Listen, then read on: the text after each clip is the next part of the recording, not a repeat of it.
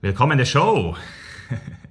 Vielen Dank. Danke für die Einladung. Freut mich sehr. Ja, ich bin super gespannt auf das Gespräch. Äh, wir haben ja schon im Vorgespräch jetzt gerade definiert, es könnte kontrovers werden. Ähm, aber das ist ja auch. Gut, ja. Dort wird es ja spannend, eben, oder? Eben, eben. Sonst wäre es ja langweilig. Genau. Ja, genau. Aber bevor wir ganz kontrovers reinstarten, ähm, vielleicht die Frage, Maurice, wer bist du? Ja, ich bin äh, Maurice Höfgen, äh, qua Ausbildung äh, Ökonom, Betriebswirt und Ökonom tatsächlich. Äh, was mache ich, wenn ich nicht gerade Podcasts mit dir aufzeichne? Äh, Habe ich einen eigenen YouTube-Kanal, ich äh, bin Buchautor, ähm, bald kommt mein neues Buch, Der neue Wirtschaftskrieg, schon das zweite. Ähm, Geht es um die Wirtschaftssanktionen. Äh, Im ersten ging es darum, wie funktioniert unser Geldsystem. Äh, da mache ich sehr viel dazu. Äh, ich arbeite im Bundestag, im Deutschen Bundestag, als äh, wissenschaftlicher Mitarbeiter für Finanzpolitik. Und schreibe, habe eine Gastkolumne in der Berliner Zeitung, äh, halte Vorträge, reise durchs Land und versuche über unser Geldsystem, die Wirtschaftspolitik aufzuklären. Mhm. Und was mich bei solchen Themen auch immer interessiert, weil es ja schon sehr weit geht und auch abstrakt wird in gewissen Bereichen, was treibt dich an? Also was ist so diese Vision, die du, die du jeden Tag siehst, wo, warum du am Morgen aufstehst und das machst? Ja, äh, die Vision oder äh, was mich motiviert, ist auf jeden Fall, dass ich erkannt habe, Wirtschaftspolitik, wofür wird wie viel Geld ausgegeben und wofür gibt die Politik kein Geld aus, ist ein riesiger Hebel, um äh, das Leben von vielen Menschen besser oder schlechter zu machen. Ja? Äh, wenn man versteht, dass es Arbeitslosigkeit gibt, dass Menschen sozusagen verzweifeln und keinen Job finden und schlechtes Einkommen haben, weil die Wirtschaft nicht gut genug läuft und da wiederum die Politik einen sehr großen Einfluss äh, drauf hat, dann ist sozusagen dieser Hebel, Wirtschaftspolitik, Finanzpolitik viel, viel größer, als, sag ich mal, äh, im Kleinen was Konkretes zu machen, äh, jetzt sich bei der Tafel zum Beispiel zu engagieren, ja. Äh, das ist sehr ehrenwert und sehr wichtig, aber der Hebel ist kleiner und ich interessiere mich für den großen Hebel, der strukturell ist, äh, der sozusagen auch Ursachen bekämpft, nicht nur Symptome, nicht nur ausbessert, wenn es schon schiefgegangen ist. Und äh, das hat mich tatsächlich auch erst politisiert. Also ich war lange Zeit total unpolitisch. Äh, und dann habe ich, während meines BWL-Studiums wurde ich mal auf äh, die Euro-Krise damals gestoßen und was ist eigentlich in Griechenland los? Pleite und ganz viel Arbeitslosigkeit. Muss man sich mal vorstellen. Jeder zweite Jugendliche in Griechenland, der einen Job äh, finden wollte, hat keinen gefunden. Also was für eine Verschwendung von Talent, ja, wenn sozusagen junge Leute nach der Schule, nach der Ausbildung, nach dem Studium keinen Job finden.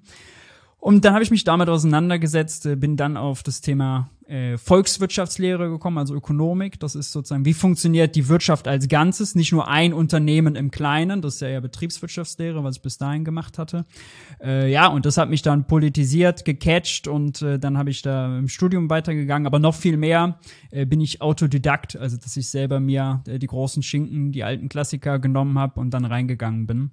Äh, genau. Mhm. Und so ein bisschen, was ich raushöre, ist weg von Arbeitslosigkeit hin zu was? Also was siehst du? Was wäre das Optimum, wenn man so sagen kann? Ja, äh, also das Optimum ist für mich, dass wir all unsere Ressourcen, die wir in der Wirtschaft haben, bestmöglich nutzen. Bestmöglich heißt dann äh, aus sozialen und auch aus ökologischen Gesichtspunkten. Äh, wir produzieren geile Sachen in einer äh, sehr geilen Art und Weise, nämlich dass es für die Leute angenehm ist. Äh, wir geben jedem eine Chance, der beitragen will dazu, äh, der arbeiten gehen will, auch einen Job zu ermöglichen, sein äh, sein Talent, seine Fähigkeiten auch einzubringen, ja, weil wenn jemand Arbeit sucht, aber keine Arbeit findet, dann ist das ja sozusagen, das ist Arbeitskraft, das ist Ressource, das ist Talent, was nicht genutzt wird. Das ist ja eine Verschwendung.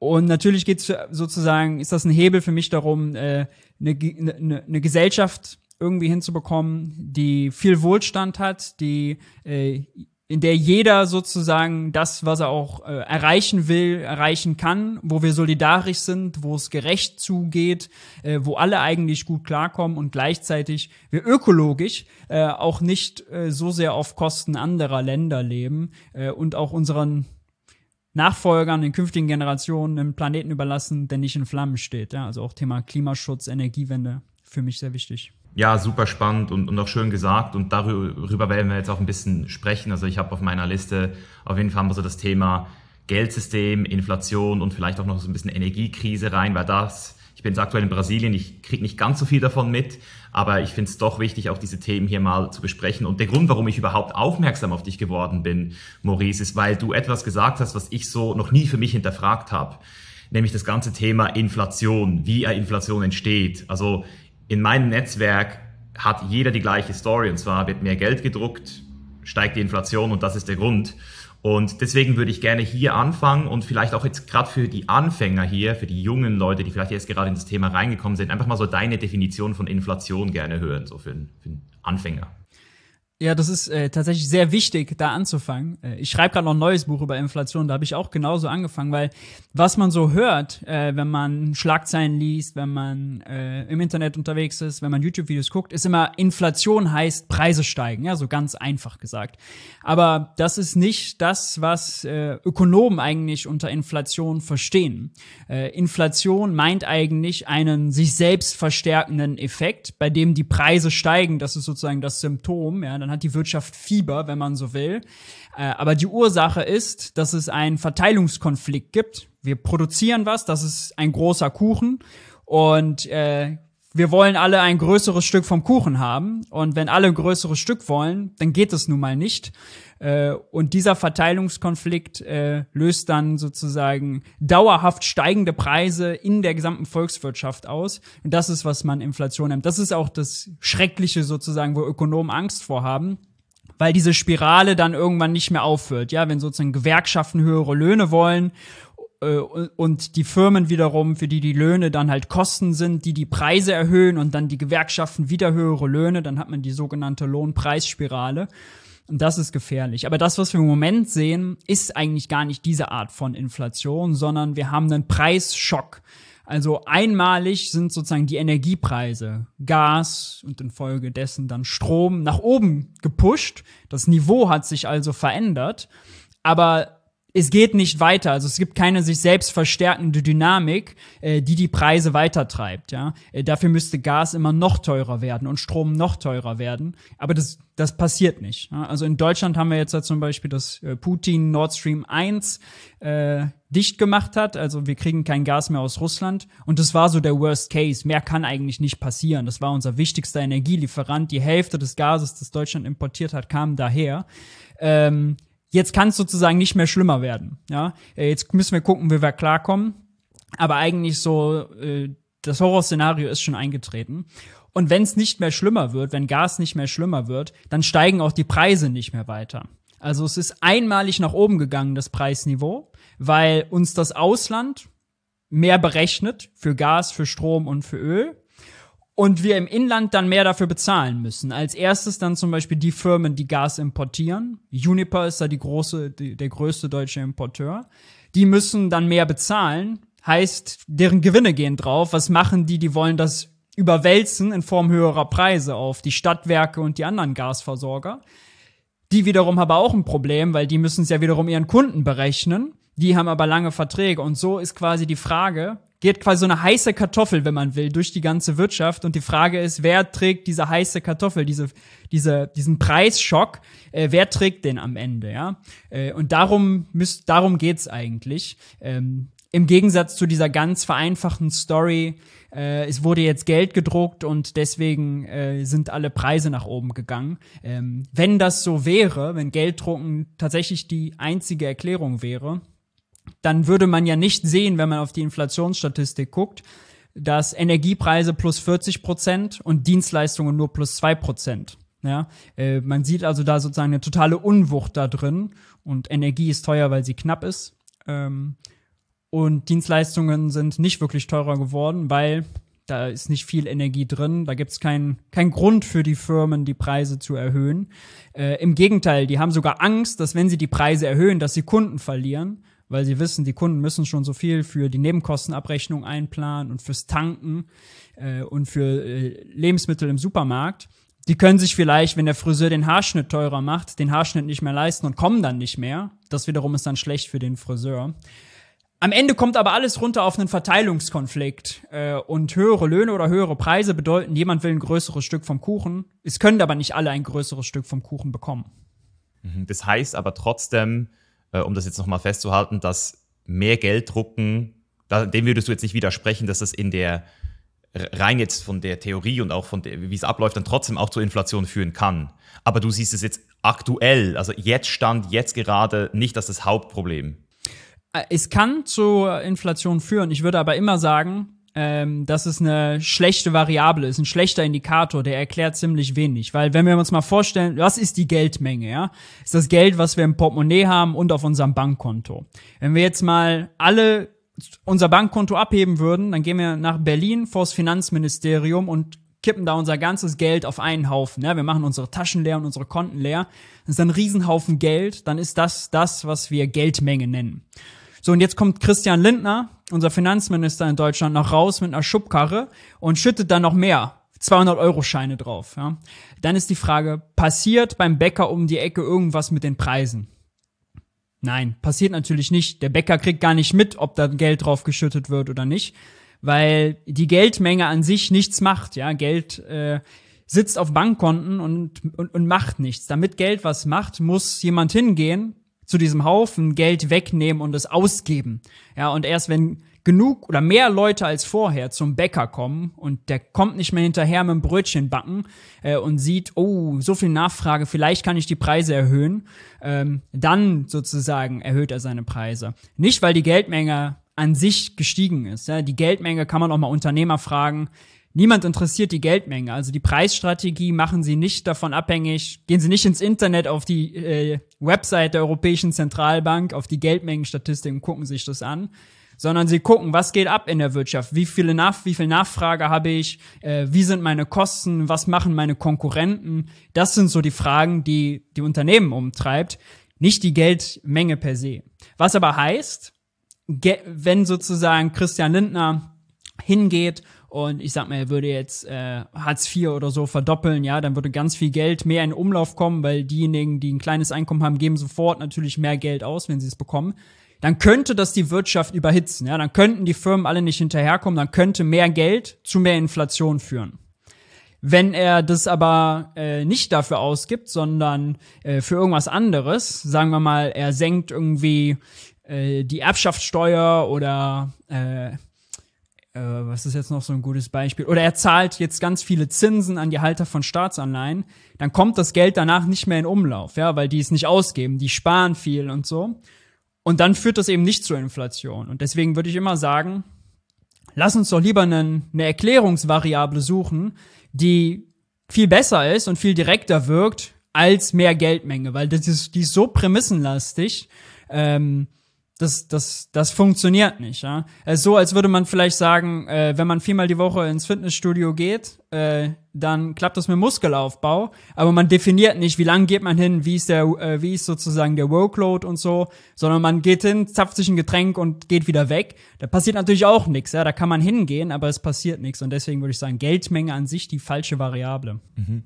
Ich, ich, ich gebe dir recht und trotzdem muss ich noch mal ein bisschen mehr verstehen jetzt im Sinne von, ich gebe dir recht, wenn du sagst, hey, besser und direkter will ich es haben, weil wenn ich jetzt höre, Geld wurde gedruckt, dann lässt mich das als, als Bürger in der Opferrolle sitzen, im Sinne von, ja, ich kann ja eh nichts dagegen machen. Also deswegen verstehe ich, dass diese Story an sich nicht optimal ist. Und jetzt sagst du, hey, besser und direkter. Jetzt ist aber die Frage, wie ist denn die Story, die du jetzt erzählst, wie kommt die jetzt zu mir als Bürger, als einzelne Person, die jetzt hier zuhört? Was kann ich heute konkret besser direkter, anders machen, um dem entgegenzuwirken, um das zu optimieren, um diesen kompletten, diese komplette Spirale, die du uns vorhin auch aufgezeigt hast, was du ja auch hinzu, wohin, hin, also wohin du willst, zu optimieren. Ja, relativ wenig tatsächlich. Äh, das Problem ist, was, was der Einzelne macht, macht für das große Gesamte kaum einen Unterschied. Ja? Der Einzelne kann sich äh, nicht rational verhalten. Ich mache mal ein Beispiel. Der Bäck, wir nehmen jetzt einen Bäckermeister, äh, der steht mit mehlbefleckter Schürze bei sich vor dem Ofen und backt Brot und dann hat er geht er, sieht er nebenbei die Pressekonferenz der Europäischen Zentralbank, die verkündet, die wird irgendwie die Zinsen senken und mehr Anleihen kaufen und bald gibt's mehr Geld. Und dann denkt er sich, ah, mehr Geld, jetzt erhöhe ich die Preise. Ja, wäre ration, wenn man, wenn man so will, rational, er, er, er greift dem vorweg. Wenn er das aber macht, dann hat er ein Problem, wenn der Konkurrent das nicht macht, weil dann wird er teurer und der Konkurrent bleibt billiger. Dann hat er zwar die Preise erhöht, aber die Leute sagen sich, ey, Brötchen kosten jetzt bei dem 40 Cent, bei dem anderen 30, gehe ich zu dem anderen.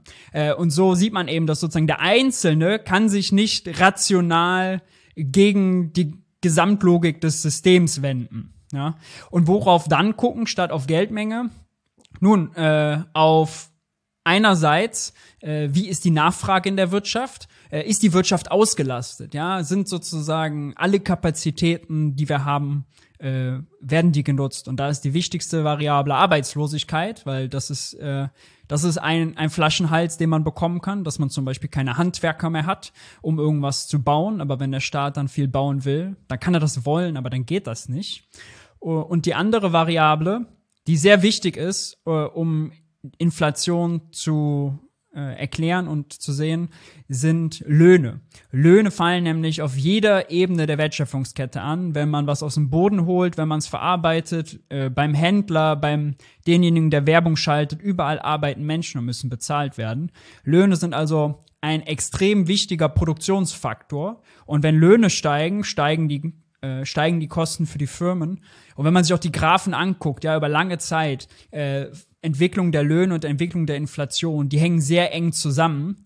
Wenn man sich hingegen anguckt, Inflation und Geldmenge, da muss man schon mit viel, äh, viel Fantasie dann einen Zusammenhang und äh, vor allem einen direkten Zusammenhang reininterpretieren.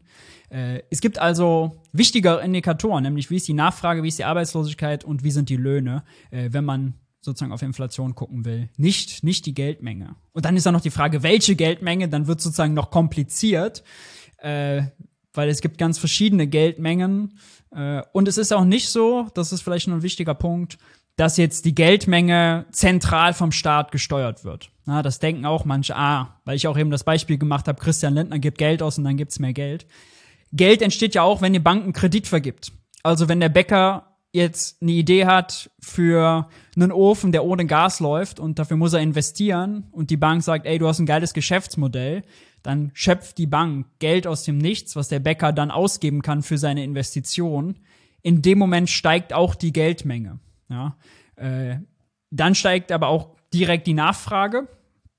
Nur äh, mehr Nachfrage heißt auch nicht direkt mehr Inflation. Mehr Nachfrage heißt erst mehr Inflation, wenn äh, die Wirtschaft nicht mehr produzieren kann. Ja, wenn der Bäcker einfach mehr Brötchen backen kann, dann wird er das machen. Wenn eine Firma mehr produzieren kann, weil mehr Kunden was nachfragen, dann werden sie das machen, um Marktanteile zu gewinnen. Äh, sie werden nicht direkt die Preise erhöhen. Das wäre das wäre schlecht für ihr Geschäft. Ja. Ich habe jetzt trotzdem nicht ganz rausgehört, wo jetzt der Ansatz ist. Also auf der einen Seite habe ich was von Handwerkern gehört. Also heißt es jetzt, du suggerierst, dass Leute sich mehr auf sowas spezialisieren sollen, um dort eine Arbeit zu finden. Und auch das Thema Löhne. Also heißt es jetzt mehr Löhne zahlen, weniger Löhne zahlen? Äh, also was genau, also wen genau sprichst du an und was soll diese Person in deinen Augen tun, um das Problem zu verbessern? Ja, also Inflation ist ein politisches Problem. ist nicht der Einzelne schuld dran. Ähm, der Einzelne kann höchstens gucken, wie kommt er besser klar, wenn wenn sein Alltag teurer wird, ja, wenn die Spritpreise steigen, wenn Brötchen teurer werden, wie kann er sich darauf einstellen? Und das Beste für den Einzelnen ist, zu gucken, dass man mehr Einkommen hat. Weil wenn alles teurer wird und man hat mehr Einkommen, mhm. dann hat man keinen Kaufkraftverlust. Okay, okay das finde ich gut. Ja, also mehr Einkommen. So. Mehr Einkommen, äh, genau. Aber das funktioniert ja auch nicht für alle. Ja, also da muss sozusagen, äh, nicht alle können jetzt aus dem Nichts sich einfach mehr Einkommen äh, verschaffen. Nicht alle, ah, nicht alle können Basketballprofi werden. Genau. Also, ja, ja. also du hast ja vorhin auch das Wort Gerechtigkeit in den Mund genommen und da ich, ich kenne viele Leute in meinem Umfeld, die diesen Wert sehr hoch in sich tragen und ich muss sagen, ich habe heftigsten Respekt vor dem Wert Gerechtigkeit, weil die Natur, die Welt ist halt nicht gerecht. So, also das heißt, wir haben da so wie einen Widerstand gegen das, was ist. Und das führt dann natürlich auch wieder zu so einem gewissen emotionalen Thema, oder? Das, das sieht man ja auch in der Politik. Deswegen gibt es ja diese Spannungen, weil ja. ja. Das heißt, äh, wo, und jetzt? Ja, und jetzt? Ich wollte ich wollt noch sagen, also die, die, die Inflation, die wir gerade haben, trifft die Leute auch total unterschiedlich. Weil wenn du eine Gasheizung hast, dann bist du viel mehr am Arsch, als wenn du äh, sozusagen Fernwärme hast oder äh, eine Wärmepumpe schon eingebaut. Ja, dann ist deine Preissteigerung viel geringer. Aber nicht jeder, wer zum Beispiel zur Miete wohnt in einem großen Haus, entscheidet man ja nicht selber, ob man eine Gasheizung hat oder nicht. Das entscheidet dann der Vermieter zentral. Da kann man also gar nichts machen, ja. Wenn du da wohnst und Gas wird teuer, dann musst du das schlucken. Da musst du quasi woanders gucken, wo du woanders sparst oder dein Einkommen erhöhst. Aber diese Ungerechtigkeit, das ist quasi, niemand kann ja sein Leben darauf optimieren, bekommen wir jetzt noch mehr oder weniger Gas von Putin, ja. Das ist ja so eine große po politische Variable, äh, so ein großes politisches Risiko, wenn man sich selbst im, im eigenen Leben darauf vorbereitet, wenn niemand dann deshalb mehr in Wohnungen ziehen will, wo irgendwie mit Gas geheizt wird, dann würden wir überhaupt nicht mehr klarkommen. Ja, das ist Politik, die dafür verantwortlich ist. Und das ist auch Politik, die das dann ausbaden muss, indem sie zum Beispiel die Leute entlastet. Ja, indem jetzt zum Beispiel in Deutschland kommt eine Gaspreisbremse, äh, indem ähm, dann Einmalzahlungen an die Leute fließen, damit sie eben diese hohen Rechnungen bezahlen können und klarkommen.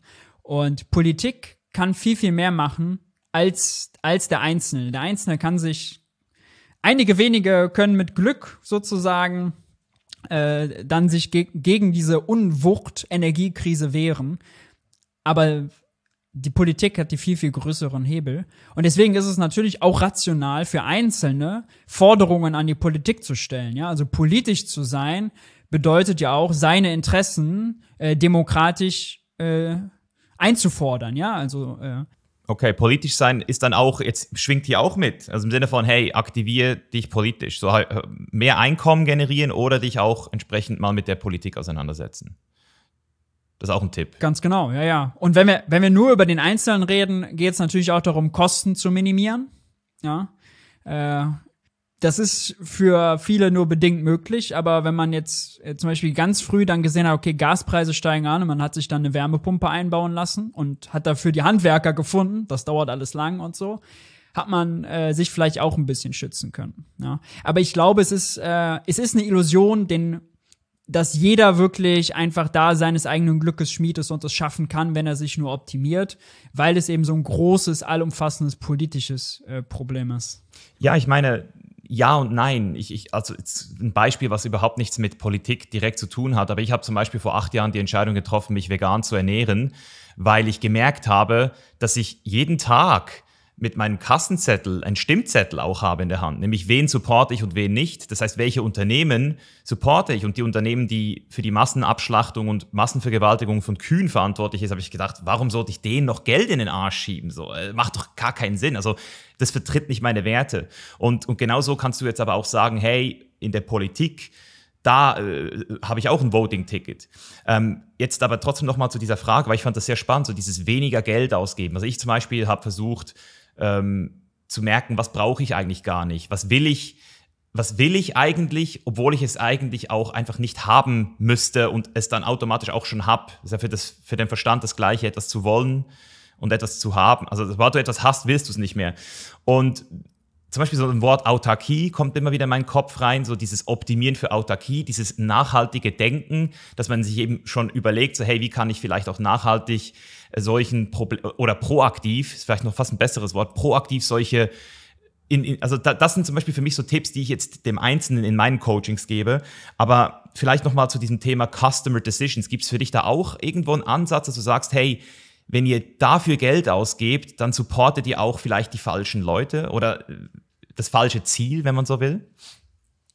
Kann man da auch ansetzen in deinen Augen? Jetzt mal wirklich im Mikro. Wenn, stell dir jetzt mal vor, das würden 10 Millionen Leuten hören, diesen Podcast. Und jeder von denen würde morgen eine neue Kaufentscheidung treffen.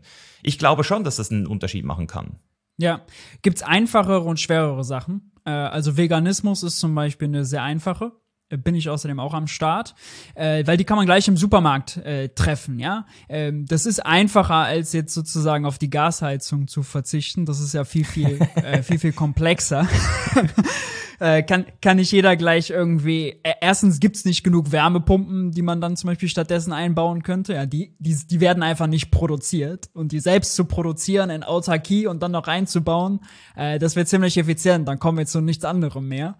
Äh, deswegen haben wir ja auch Arbeitsteilung. Deswegen gibt's ja auch eine Wirtschaft und wird die auch wirtschaftspolitisch gelenkt. Ähm, ist, ist sozusagen jeder Kauf also deswegen eine, eine Stimme, bedingt, würde ich sagen. Ähm, äh, sehr schwierig, äh, weil die Spielregeln, die die Politik dafür setzt, was wie produziert wird, sind wiederum der viel größere Hebel als die Einzelperson, äh, die was kauft oder was nicht kauft. Ja? Und global gesehen wird's noch schlimmer. Ich mache mal ein Beispiel. Wenn wir jetzt alle sagen würden, wir wollen jetzt alle was fürs Klima tun, wir benutzen jetzt kein Öl mehr. Ja, wir fahren jetzt kein Auto mehr, wir verzichten jetzt auf Kraftstoffe. Nur mal rein hypothetisch. Was würde passieren? Deutschland fragt weniger Kraftstoffe nach, weniger Öl nach. Was passiert dann mit dem Ölpreis? Der Ölpreis geht runter. Äh, wenn der Ölpreis runtergeht, gibt's andere Länder, die dann wiederum sagen, und für die ist das dann total rational, ah geil, Öl ist günstiger, dann benutzen wir jetzt mehr Öl. Das heißt, äh, das ökonomisches Gesetz, Märkte werden immer geräumt, äh, ist nur eine Preisfrage. Wenn wir auf Öl verzichten, sinkt der Preis und woanders ist das ein Signal für andere, ah geil, wir nutzen den günstigen Preis, um mehr davon zu verbrauchen. Auch weltweit wird dann gar nicht weniger Öl verbraucht, äh, sondern es verbrauchen nur andere. Und das ist sozusagen, äh, da ist quasi gesamtsystemisches Denken äh, anders als äh, indi individualistisches Denken. Das ist so ein bisschen der Widerspruch, für eine Person ist es im Kinosaal äh, gewinnbringend, wenn sie aufsteht, weil sie damit ihre Sicht verbessert. Wenn man jetzt sagt, alle müssen aufstehen, um ihre Sicht zu verbessern, was passiert? Wenn alle stehen, hat keiner eine bessere Sicht, aber es ist deutlich unkomfortabler, weil alle stehen statt zu sitzen. Und diese gesamtsystemischen Probleme, sage ich mal, ja, das Ganze funktioniert anders als das Einzelne.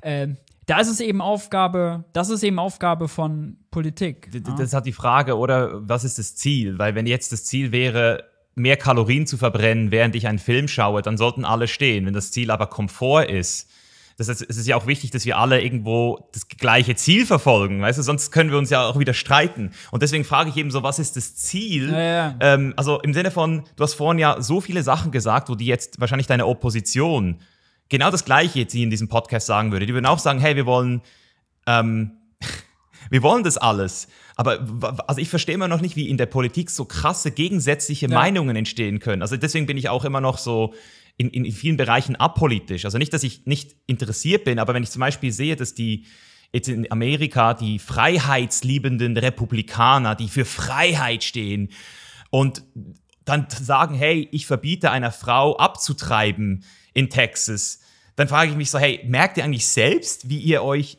in diesem Bereich jetzt ähm, irgendwo ähm, selbst verarscht? Also im Sinne von, es ist irgendwie so, ich habe manchmal das Gefühl, wenn man einer Partei angehört, muss man dann auch alles, was vielleicht gar keinen Sinn macht, unterschreiben. Weißt, weißt, es, es kann ja nicht sein, dass eine Partei die Wahrheit gepachtet hat. Und deswegen, ich, ich, frage mich immer noch so, wo ist die Lösung hier? Wie kommen wir zu diesem gemeinsamen Konsens, dass die Leute, die eben Kalorien verbrennen wollen, während des Filmschauens nicht in das gleiche Kino müssen und es beide Kinos vielleicht auch gibt, aber man sich dann eben auch nicht mehr darüber streitet. I don't know. Ich glaube, ich glaube, da gibt es keine Lösung, weil es immer diese äh, Interessenskonflikte geben wird. Ja, äh, was der eine will, schränkt den anderen ein. Das, das, das ist nun mal so. Deswegen ist die Welt, Welt halt auch nicht gerecht, ja, weil es immer stärker und schwächer gibt.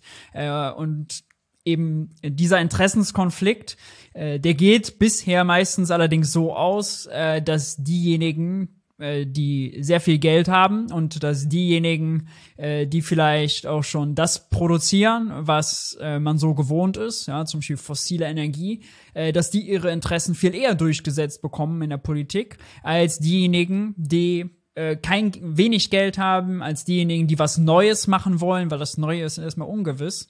Ähm, aber es, es, ist schon ein großer Hebel. Ja? Und es fängt im ganz Kleinen an. Wenn man jetzt zum Beispiel politisch wollen würde, dass vegane Lebensmittel, die halt gesünder sind, äh, die weniger umweltschädlich sind, dass die gef gefördert werden, ja, dass man es den Leuten einfacher macht, die zu kaufen, äh, dann könnte man ja zum Beispiel die Mehrwertsteuer auf Obst, Gemüse, Hafer, Hülsenfrüchte, Nudeln und so weiter einfach streichen. Ja?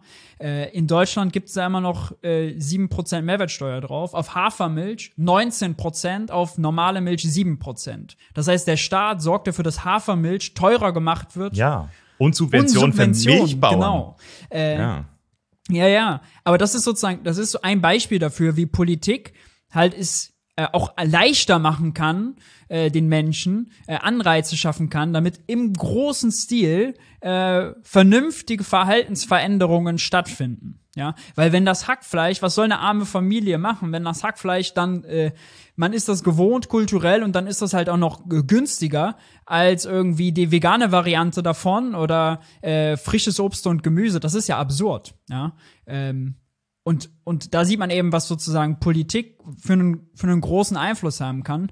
Und deswegen ist es auch wichtig, eben, dass, äh, dass halt diejenigen, die was verändern wollen und diejenigen, die enttäuscht sind von Politik, dass die sich versuchen, eine Stimme und eine Lobby zu verschaffen und nicht sozusagen resignieren und sich dem System abwenden. Weil ich glaube, ähm, wenn das jeder für sich macht, dann sind die anderen, die immer noch sozusagen dann kollektiv, gemeinsam ihre Interessen einfordern von diesem großen Hebel Politik, ähm, halt im Vorteil. Ja? Also individuell das Beste für sich irgendwie rauszuholen und zu machen und sich aufzuklären und zu informieren, alles schön und gut, äh, auch wichtig, auch ähm, für sich persönlich, für Persönlichkeitsentwicklung und so natürlich alles top. Aber die Politik, den großen Hebel, ähm, nicht vernachlässigen. Mhm. Ja, es ist ein spannender Punkt, den du ansprichst, weil das ist jetzt etwas, was ich dich eh gefragt hätte, was mich interessiert. Wen siehst du denn aktuell so, wenn du jetzt die ganze Welt betrachtest? Alle, jetzt sind es, glaube ich, acht Milliarden Menschen gerade geworden. Alle acht Milliarden Menschen offiziell. Wer hat in deinen Augen in den letzten Jahren für die krasseste Veränderung gesorgt? Also wen hat dich auch am meisten inspiriert vielleicht? Wer, wer ist diese Person, wo du sagst, boah, der hat das richtig durchgezogen die letzten Jahre? Das ist, eine, das ist eine schwierige Frage, weil es natürlich äh, ganz, ganz verschiedene, äh, ganz verschiedene Bereiche gibt, ja, für die man sich interessiert und wo man äh, also kommt auf das Ziel an. Äh, was soll sozusagen der Nutzen du, wo gewesen sein? Du dich jetzt interessierst halt. Ah, okay, okay, okay. Boah.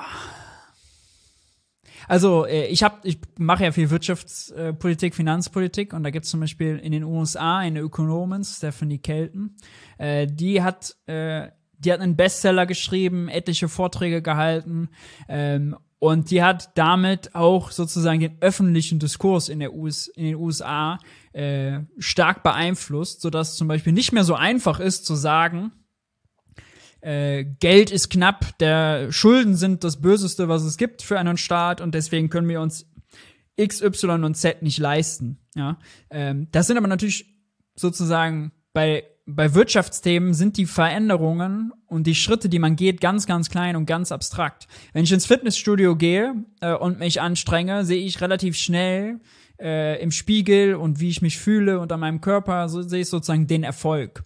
Aber bei Politik gerade bei Wirtschafts- und Finanzpolitik ist es halt, weil ist es halt träge, das System. Und es ist ganz schwierig, äh, da zu sagen, Person, die Person macht das und das bringt Y. Äh, es sei denn, die Person wäre an der Regierung. Ja.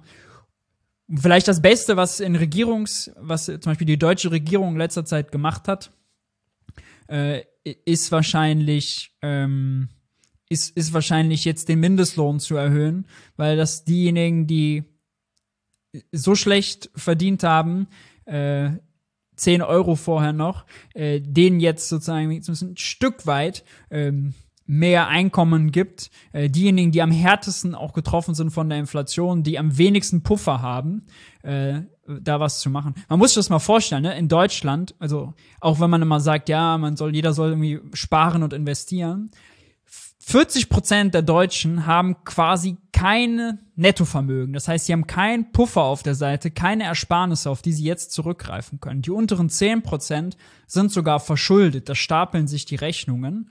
Und der Sparkassenpräsident hat zuletzt äh, gesagt, äh, dass in der Krise 60 Prozent der Deutschen es nicht mehr schaffen, neue Ersparnisse zu bilden. Also die Leute verdienen was und müssen das alles ausgeben, um im Alltag klarzukommen. Und das nimmt einem natürlich auch die Möglichkeit, äh, vorzusorgen, irgendwie was zu erreichen. Äh, strukturell, ja. Okay, das heißt, das Thema Mindestlohn, das ist ein wichtiges Thema für dich. Ähm, aber auf der anderen Seite, ein bedingungsloses Grundeinkommen findest du nicht so geil, habe ich, hab ich gelesen, oder? das stimmt, das stimmt. Das stimmt, das ist für mich zu, das ist der Shortcut, ja, das ist die Abkürzung, die gut gedacht ist, aber schlecht gemacht. Weil so meine Dystopie von einem bedingungslosen Grundeinkommen bedeutete ja, jeder kriegt, ich sag jetzt einfach mal 1200 Euro jeden Monat überwiesen. Ähm, und äh, kann damit machen, was er will. Ist so die Dystopie, jeder hat das Geld äh, und kann bei Amazon äh, bestellen, was immer er will, hat da ganz viel Konsumfreiheit. Aber die Produktion, die dafür notwendig ist, findet halt nur noch in irgendwelchen Megafabriken von Jeff Bezos statt, zu scheiß Bedingungen. Äh, und die Produktionsseite der Welt wird total vernachlässigt, ja. Und ich würde sagen, für mich ist A wichtig, dass die Leute klar genug konsumieren mhm. können also global jetzt. Das, das, das, aber, aber mhm. Also, dass, dass, es dann global zu, zu Disbalancen kommt. Äh, global, aber auch im Land selber, weil äh, das BGE einen davon freikauft, die Politik vielleicht davon freikauft, ähm, dafür zu sorgen, dass es gute Arbeit gibt, dass es genug Arbeit gibt, dass die Spielregeln da vernünftig sind, weil man sagt, hey, wir überweisen euch doch 1200 Euro und dann ist gut, bitte Füße stillhalten, was wollt ihr denn noch mehr? Und äh, das ist das ist für mich sozusagen ein Freikaufen von politischer Verantwortung. Äh, und dann könnte das System am Ende schlechter sein, äh, als es vorher war. Ich finde zum Beispiel eine ganz andere Idee geil, wenn wir über sowas reden. Zum Beispiel die Idee einer Jobgarantie, dass der Staat sagt, jeder, der Arbeit sucht, aber in der Privatwirtschaft keinen Job findet, weil es gerade nicht genug Jobs gibt, kann einen gemeinnützigen Job zum Mindestlohn äh, vom Staat bekommen. Es gibt ja genug zu tun. Also äh, man muss ja nur umgucken, man sieht ganz viel Arbeit. Äh, Feldwege ausbauen, Projekte in Schulen, Kunstprojekte, Musikprojekte, Nachhilfe, gesundes Frühstück an Schulen, äh, äh, kleine Bauarbeiten, äh, Flüchtlinge, äh, Flüchtling, Flüchtlingen die Integration erleichtern, die beim Supermarkteinkauf zu unterstützen, äh, Familien, äh, Sportevents in der Stadt zu veranstalten, Spielplätze zu kontrollieren, ob die sicher sind. Also es gibt ganz viele Tätigkeiten. Die, zum Beispiel in Deutschland gibt es noch die Tafeln. Ja, das sind die, die Na äh, Essensspenden äh, an Bedürftige verteilen die brauchen Ehrenämtler, die sind gerade in der Krise überfordert, weil zu viele Menschen da hinkommen und Essen brauchen und die nicht genug Ehrenämtler haben. Und da sage ich mir, wenn wir Arbeitslose haben, die was suchen, aber nichts finden, dann wäre es das Beste, denen gemeinnützige Jobs zu geben. Und das kann der Staat sich leisten. Und es wäre natürlich für alle besser, ja, weil wenn jemand seinen Tag damit zubringt, was zu produzieren, was für die Gesellschaft zu machen, beizutragen, ist das ja viel, viel besser als nichts, als sozusagen Arbeit zu suchen, aber keine zu finden. Ja, ähm, und das, das hat noch ganz viele andere positive Effekte. Am meisten positive Effekte hätte es das tatsächlich in den Ländern, wo auch ganz viel Schwarzmarkt ist, ja, wo Leute, weil sie so verzweifelt sind, dann äh, an, an der Straßenecke irgendwelche Jobs anbieten, wo kein Recht sich schützt, wo es keinen Arbeitsschutz gibt, wo sie einfach ausgeliefert sind. Wenn die eine staatliche gemeinnützige Alternative hätten, äh, dann würde das denen Macht geben, dann würde das deren Lebenssituation äh, total verbessern, würde die empowern. Weil niemand würde ja im Privatsektor schlechtere Bedingungen akzeptieren, als er sozusagen dann vom Staat bekommt. Man zieht also eine Untergrenze an akzeptablen Bedingungen ein. Niemand würde für weniger Geld arbeiten, zum Beispiel. Äh, ja, das, das ist für mich was, ja, da machen wir die Produktionsseite unserer Welt. Das, was wir das, was wir uns selber äh, herstellen in Arbeitsteilung, ja, wie wir uns selbst Wohlstand produzieren, das machen wir damit zugänglich für alle und dann verbessern wir die, die Qualität, wie es gemacht wird. Äh, und darum geht's für mich. Äh, wenn wir eben über vegane Nahrungs Nahrungsmittel gesprochen haben, geht's für mich auch darum, da neue Regeln einzuführen. Ja, also wie kann was produziert werden, wie teuer wird was gemacht, was dann umweltschädlich ist oder tierschädlich oder auch gesundheitsschädlich. Ja, Menschen stopfen sich alle voll mit Fleisch und produzieren natürlich auch dann wiederum mehr Gesundheitskosten im Gesundheitssystem. Also es gibt ganz viele Ineffizienzen, die, die man halt angehen könnte. Äh, und ich finde, da enttäuscht die Politik, weil die Politik sich an den falschen, an den falschen Mantras aufhängt. Zum Beispiel, dass Geld knapp ist und der Staat keine Schulden machen soll. Und ich würde sagen. Also, also doch nicht politisch werden. Ja, doch politisch werden und das halt, das halt ändern und einfordern, ja. Und die Politik, die Politik abstrafen, indem man der nicht die Stimme gibt, wenn sie äh, eben solche Politik ja. macht, ja. Äh, weil wenn sie die Politik weitermacht und quasi alle, alle, sagen wir mal, Vorzeichen darauf stehen, dass äh, es braun und tierschädlich und umweltschädlich ist, dann kann man als Einzelner mit viel Mühe ja, und Aufklärung und kritisch sein sich vielleicht daraus befreien, aber nicht, nicht die Masse der Leute, aber es braucht ja die Masse der Leute, damit man, damit man genug Progress erzielt, ja, damit es für, für, für damit man was geregelt bekommt auf der Welt, in der Gesellschaft. Mhm. Okay, also kann man abschließend sagen zu dem Thema Inflation, dass das eigentlich nicht das Kernproblem ist, sondern du sagst jetzt, hey, das Kernproblem ist eigentlich, dass wir viel zu individualistisch denken, dass ähm, wir ähm, das Gesamtsystem nicht sehen und deswegen halt einfach auch ganz andere ähm, Sachen im Vordergrund stehen sollten und nicht nur einfach mit dem Finger auf dieses, The auf dieses Wort Inflation gezeigt wird, im Sinne von, oh, wir haben jetzt alle dieses Problem, weil zu viel Geld gedruckt wurde. Kann man das so zusammenfassen? Äh, ja, ja, da kommt jetzt natürlich einiges sozusagen zusammen. Äh, wir sind ein bisschen abgeschwiffen. Äh, Inflation ist auf jeden Fall ein Problem, weil äh, es Kaufkraftverlust bedeutet. Und wer wenig Kaufkraft hat, der ist halt der Gelackmeierte. Aber ähm, ich würde sagen, der Einzelne, der muss sozusagen politisch sein, um sich gegen diesen Kaufkraftverlust zu wenden, ähm, um das Problem zu verhindern. Und Inflation als sozusagen Ur die Ursache von Inflation, das wir jetzt zusammenfassen, das ist halt viel, viel komplexer als irgendwo wird auf ein Knöpfchen gedruckt und dann gibt es mehr Geld. Äh, und das wiederum führt zur Inflation. Ja.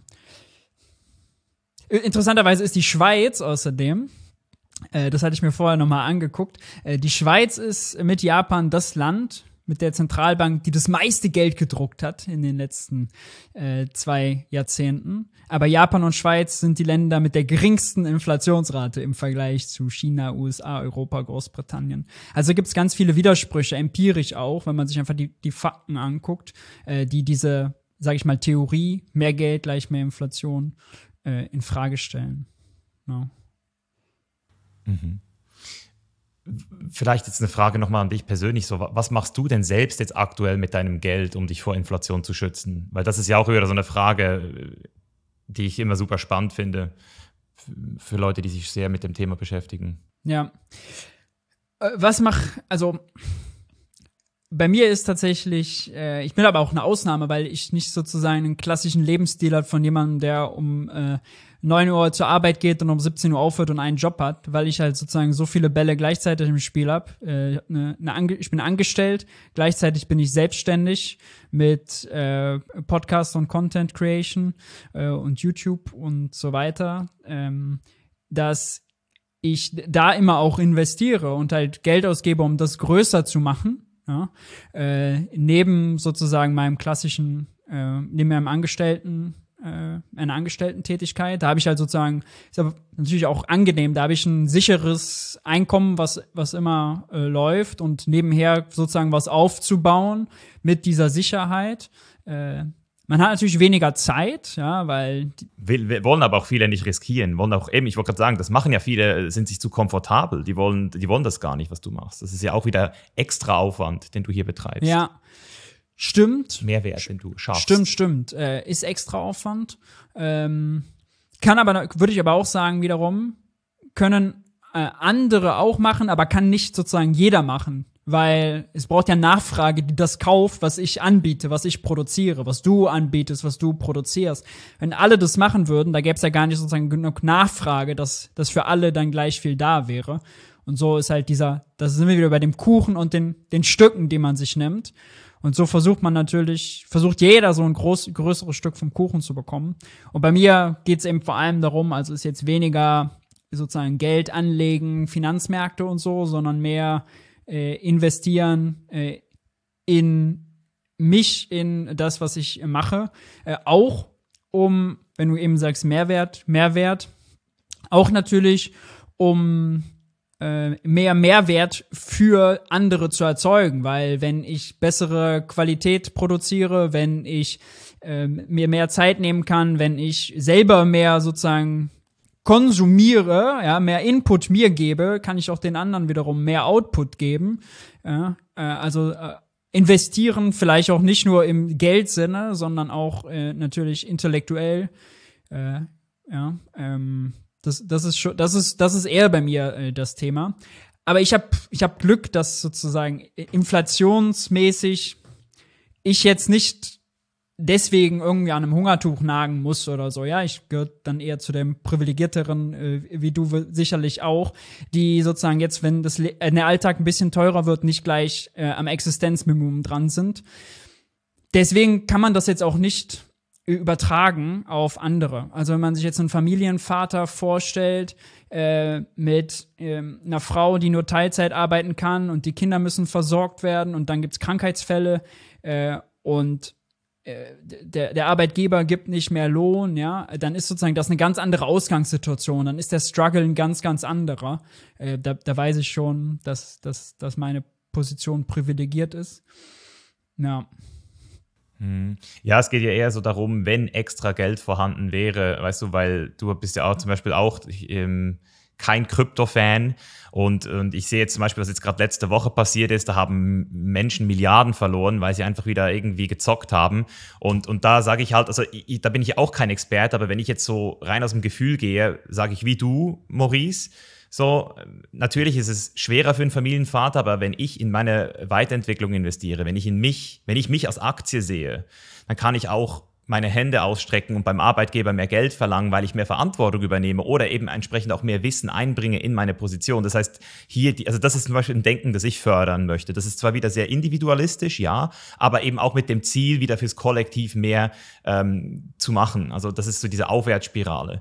Und ähm, deswegen würde ich sagen, dass es vielleicht für Familienväter mit, mit drei Kindern ähm, nicht der Bitcoin sein sollte, sondern vielleicht eben sich selbst oder vielleicht eben auch eher Unternehmen sehr, also vielleicht eher ein Unternehmen, das schon seit 50 Jahren am Markt ist so, und halt eine, eine, eine, eine Dividende auszahlt, als Beispiel, jetzt irgendwie ein ETF over, over Bitcoin. Ja, ja, auf jeden Fall. Also deswegen wollte ich einfach wissen, ob du da vielleicht noch irgendwie andere Assets hast, ist jetzt nicht das Hauptthema, aber es ist immer wieder spannend, das von jedem so individuell zu hören. Stimmt. Ähm, also äh, habe ich, äh, will ich aber selten drüber reden, weil ich ja auch sozusagen makro, makroökonomisch und wirtschaftspolitisch rede.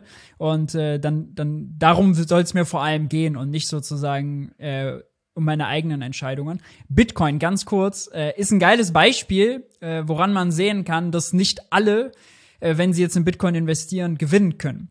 Denn der Bitcoin, da kann ja nur ausgezahlt werden an Gewinnen, was vorher eingezahlt wurde. Ja, die Leute müssen sozusagen Euro gegen Bitcoin tauschen oder Dollar gegen Bitcoin tauschen und dann nachher wird es wieder gegen äh, Euro und Dollar zurückgetauscht. Ist wie ein Pokertisch, ja, ein Pokertisch, alle Spieler bringen Geld mit, legen es auf den Tisch, zocken und dann wird umverteilt. Einer kann gewinnen, mehrere können gewinnen, aber das geht sozusagen zu Lasten der anderen. Das ist ein großes Umverteilungssystem. Äh, eigentlich ein Nullsummenspiel, weil nur umverteilt wird, was halt auf den Tisch gelegt wird. Äh, da unterscheidet sich der Bitcoin halt auch von einer klassischen Aktie, weil da ist ein Unternehmen dahinter, da gibt's eine Dividende, da wird was erwirtschaftet. Beim Bitcoin wird ja nichts erwirtschaftet. Ja? Äh, und wenn man ganz korrekt ist, ist es sogar ein Negativsummenspiel, ähnlich wie im Casino, weil im Casino muss das Casino bezahlt werden für die Infrastruktur, da muss man dann Gebühren zahlen. Beim Bitcoin ist es so, dass die Miner ja bezahlt werden müssen. Und die Miner, die verbrauchen Strom, äh, die verbrauchen Hardware, die müssen sie erstmal in Euro und Dollar außerdem kaufen. Also Bitcoiner, die immer sagen, wir sind ganz unabhängig von Euro und US-Dollar, schon ohne einen Staat mit, einem, mit einer Strominfrastruktur wären die schon gefickt, ja, also es würde schon nicht gehen. Ähm, und deswegen müssen alle Bitcoiner, die da einzahlen, müssen ihre Miner finanzieren. Heißt, nicht alle, die sich beim Bitcoin beteiligen, können gewinnen. Einige gewinnen, andere verlieren. Wer mit Gewinn, Kursgewinnen, die realisiert, aussteigt, ja, der nimmt Gewinne mit, die die andere dann finanziert haben. Und daran sieht man gut, dass solche Systeme äh, für einen Einzelnen halt funktionieren können, ja. Also man selbst, wenn man früh genug eingestiegen ist und dann rausgeht, kann man Profit machen. Aber nicht jeder. und deswegen würde ich auch zum Beispiel sagen, Leute, die selbst fett bei Bitcoin investiert sind äh, und dann äh, da groß Werbetrommeln für rühren, ja, und sagen, das wäre irgendwie die, die, die Rettung unseres Geldsystems. Also ist ein ganz klassischer Interess Interessenskonflikt, weil die profitieren davon, wenn mehr Leute nachkommen und sich da einkaufen, weil dann der Kurs steigt und auch die Wahrscheinlichkeit, dass man mit Gewinn aussteigen kann. Ja? Ähm, da, da sieht man wiederum, dass das System, das große Ganze, äh, bisschen die, die wahre Hürde ist und nicht das, was der Einzelne an optimaler Entscheidung, Entscheidung trifft. Ja.